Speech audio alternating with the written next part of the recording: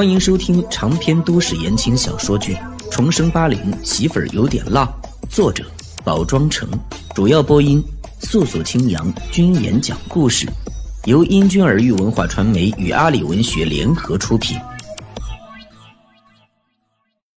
第七百四十三集。康伟是可怜的，别人过春节，他也过春节，却是躺在床上过。康伟也是幸运的，一场车祸现在看来没给他造成太大的后遗症，反而促进了家庭关系的融洽。要没有这场车祸呀，康伟和康连明的误会解不了。没这场车祸，谢云也不会幡然醒悟，从自怨自艾中清醒，积极面对真实的生活。康伟说：“谢云管得多，但口气多幸福啊。”他妈妈有烟火气儿了，不再是泥塑的雕像，美则美，以前是没魂儿的。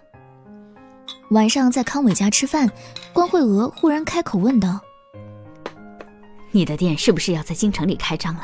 卖的衣服，我和你夏姨的年龄能穿吗？”谢云挺好奇，小兰要在京城开店呀。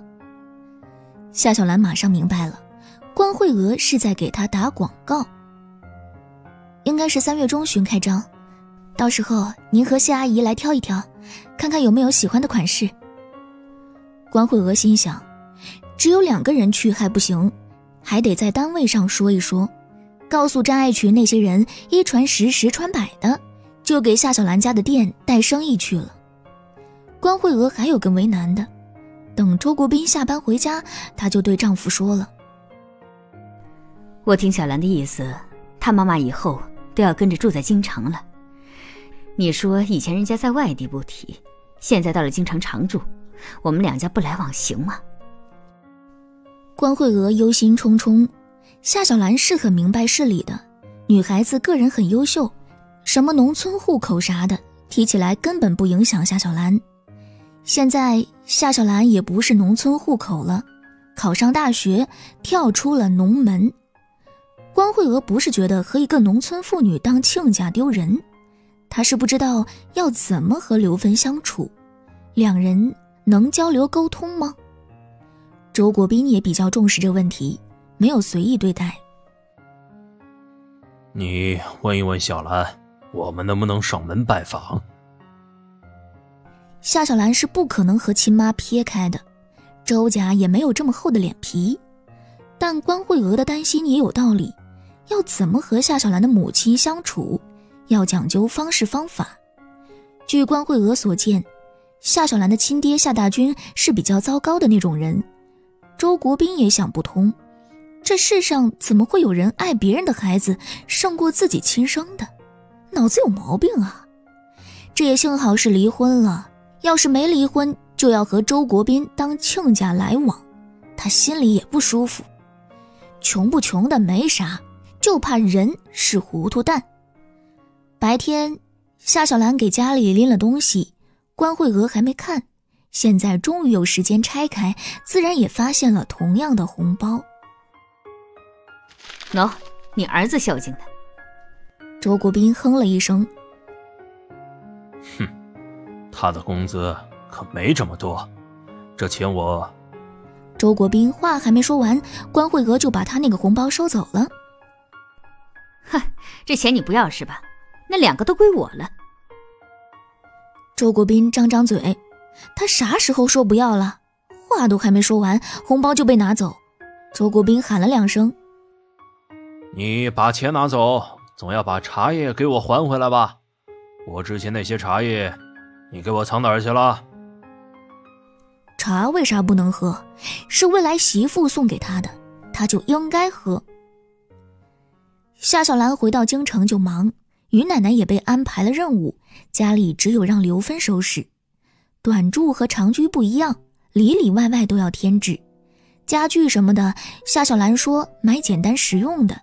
这房子将来还要改建，现在买了，到时候放着不好看也是浪费。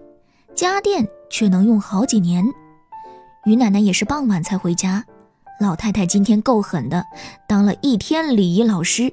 把两个年轻姑娘都训哭了。含胸驼背，仪态糟糕。先练两天贴墙根儿，再练顶碗。夏小兰冷汗直流。啊，您悠着点儿，现在可不是选宫女的年代了。我在替谁操心？就这标准儿还宫女？我家过去都比这个啊！呸呸呸！差点又让我犯错误。他们是仪态不好，练一练不仅是帮你忙，他们以后就会感激我了。于奶奶听说店要三月中旬开业，还有二十天时间，怎么也能将这批店员训练个大概模样。夏小兰说的没错，现在又不是要送进宫里伺候皇上，封建王朝那一套早就行不通了。于奶奶也只能让他们练出个大概。于奶奶也不是吹牛，要不是夏小兰的店里要招人，平白无故的谁去给他们上礼仪课呀？别管是于奶奶教点礼仪和仪态，还是夏小兰准备讲的销售技巧，有人肯教他们东西，应该透着高兴才是。是您说的对，不仅他们该感激您，我也是。您这上了一天课，累不累啊？夏小兰狗腿，于奶奶脸板久了才是真累。她嘴巴的弧度变柔和了。我累啥？你妈才累。这两天在家里搞卫生，你没见这房子都不一样了。一家三口人，个个都在忙。夏小兰说明天去吃涮羊肉，刘芬没同意。就在家里坐着吃，等开学了，也请你那些同学来家里坐一坐。没有敞亮的房子，刘芬怕给女儿丢人。现在日子不一样了，母女俩在京城安了家，刘芬也有了自信。夏小兰点头，嗯，到时候再说吧，我们还要忙店里的事。不一定有那时间呢。于奶奶没吱声，老太太在琢磨另一件事儿。刘芬搬来京城长居，周成家里要有诚意，就该主动上家里拜访的。于奶奶很不赞成女方家长先上男方家去，华国一些传统还是有道理的。于奶奶想问一问夏小兰，周家有没有这个打算？看夏小兰也累得够呛，干脆闭口不提。也是，现在见啥面呀？夏小兰自己都忙活不过来，谁有时间去招待周家人？第二天早上，家里的电话响了，是关慧娥打来的，主动和夏小兰提了能不能上门做客。于奶奶马上改了口风：“双方家长是该见见面，你和周成感情也挺好的。”夏小兰想了想自己要忙的事，约在了周末。